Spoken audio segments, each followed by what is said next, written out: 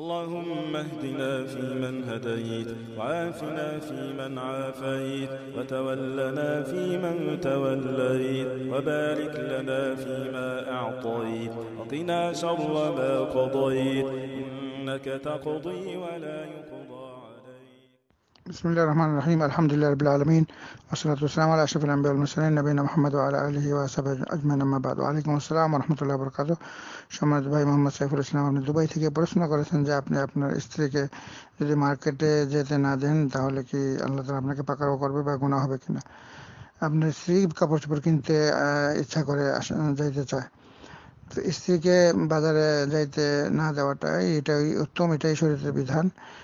কারণ বাজারটা হচ্ছে সবচেয়ে নিকৃষ্ট স্থান। বাজার পৃথিবীতে সবচেয়ে নিকৃষ্ট স্থান আর মসজিদ হচ্ছে সবচেয়ে উত্তম স্থান। সেই মসজিদও হাদিসে আছে যে রসুল্লাহ সাল্লামের কাছে একজন মহিলা সাহাবি বলেছিল যে রসুল্লাহ আমি মসজিদে নবীতে আপনার পিছনে নামাজ পড়তে চাই। তখন রসুলাম বললেন যে হ্যাঁ, আমি জানি তুমি আমার পিছনে মসজিদ নবীতে পড়তে চাও কিন্তু তোমার জন্য তোমার ঘরেই উত্তম নামাজ পড়াটা। ঘরের মধ্যে বাড়ির মধ্যে যে ভিতরে একটা অন্দরমহলে অন্দর মহলে যে মহিলাদের আসল রুম যেখানে মহিলা ঘুমায়, সেটা, সেখানে নামাজ পড়াটা সবচেয়ে উত্তম মহিলাদের জন্য। তো মসজিদটা এত ভালো জায়গা, সেখানেও রসুলাম বলছেন, উত্তম সে যেন মসজিদের থেকে না গিয়ে ঘরের ভিতরে নামাজ পড়ে। কিন্তু মসজিদের ক্ষেত্রে স্বামীকে নিষেধ করা যেন বাধা না দেওয়া হয়। একমাত্র মসজিদে অনুমতি দেওয়া হয়েছে যে কোনো মহিলা যদি মসজিদে নামাজ পড়তে যাইতে চায়, তাহলে তাকে যেন বাধা না দেওয়া হয়, যাইতে দেওয়া হয়। কিন্তু সেখানে তার, বলে দেওয়া হয়েছে যে তার জন্য মসজিদে থেকে ঘরের ভিতরে রুমের মধ্যে নামাজ পড়াটাই উত্তম।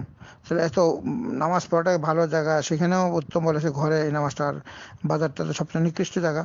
কাজেই হাদিস শরীফ আছে যে এই হিসাবে দিনের ক্ষেত্রে যদি কোনো মহিলা স্বামীর আনুগত্য করে, তাহলে তার জন্য কি অনেক সব রসুল বলেছেন, ইদা মারাত خمسها وصامت شهرها وحفظت فرجها وأطاعت زوجها.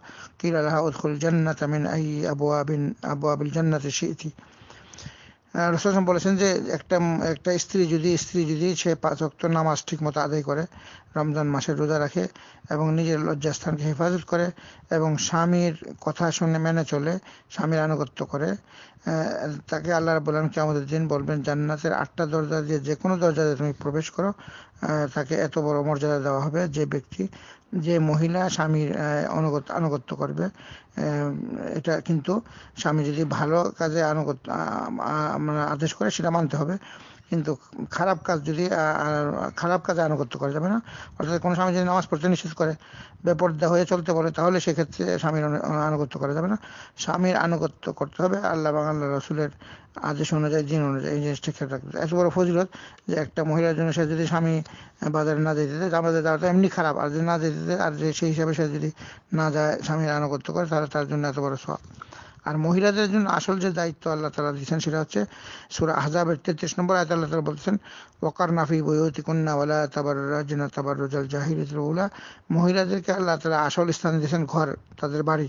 বাড়ির ভিতরে থাকতে বলেছেন এবং তাদেরকে জাহিলিয়াতের মতো নিজেকে প্রদর্শনী করে বাহিরে যাওয়ার অভ্যাস করাটা এটা নিষেধ করা হয়েছে। কারণ পূর্বের জাহিলিয়াতের যুগে মহিলারা নিজেকে প্রদর্শনী করতো, তখনকার যুগে মহিলাদের কোনো মান সম্মান ছিল না। এমনকি এত অসম্মান মহিলাদেরকে একটা মানে পণ্যের মতো ব্যবহার করা হতো। এই জন্য অনেকেই লজ্জায় নিজের ছোট ছোট মেয়ে, বাচ্চা জন্ম করলে তারা জীবিত তাদেরকে কবর দিয়ে দিত এই অপমান থেকে বাঁচার জন্য। তো কাজেই সহি হাদিস তিরমিজির এগারোশো তেহাত্তর নম্বর হাদিস এখানে রসুল রসুলাম বলছেন আলমার আত আউরাতুন একটা মহিলা হচ্ছে সে আউরা ফাইদা খারাজাত মিন বাইতিহা ইস্তেশরাফ হাসাইতান হাত্তা তার যে একটা মহিলা যখন ঘর থেকে বাহির হয়, তখন তার পিছনে পিছনে শয়তান থাকে। শয়তান তার সাথে থাকে এবং শয়তানে তাকে অলঙ্কৃত করে, পরপুরুষের পরপুরুষকে তার প্রতি আকৃষ্ট করে। তো এইভাবে যদি এটা এই জন্য নিষেধ। ঘরে থাকা এবং নামাজ পড়তে যে সাহাবারা, মহিলা সাহাবারা রসুল ইসলামের যুগে তারা যখন নামাজ পড়তে পারত তো অন্ধকারে তারা একদম কালো বোরখা পরে একদম দেওয়ালের সাথে মিশে মিশে যেত, যেন অন্ধকারেও যেন না বোঝা যায়। এবং রসুলাম বলতেন যে, মহিলারা আগে বাহির হবে মহিলারা বাইরে যখন চলে যাবে, যখন একদম কোনো মহিলাদের কোনো চিহ্ন থাকবে না, তখন পুরুষরা বাইরে হবে। এইভাবে সাহাবাদের যুগে মহিলা এইভাবে যারা নামাজ পড়তে আসতেন, তারা এইভাবে আসতেন। তো কাজেই মহিলার যদি কোনো কেনা, কেনাকাটার ব্যাপার থাকে, তাহলে স্বামীকে সে দিবে পয়সা এবং স্বামী স্বামী তার চাহিদা পূরণ করবে, কিনে আনবে। কারণ বাজার করাটা, বাজারে ঘোরাঘোরা করাটা এবং কিনা একটা একটা অপমানজনক জিনিস। পুরুষদের জন্য আল্লাহ তালা বাহির হওয়ার এবং বাহিরে যে কষ্টকর কাজ, এগুলো আল্লাহ তালা পুরুষদের জন্য দিয়েছেন।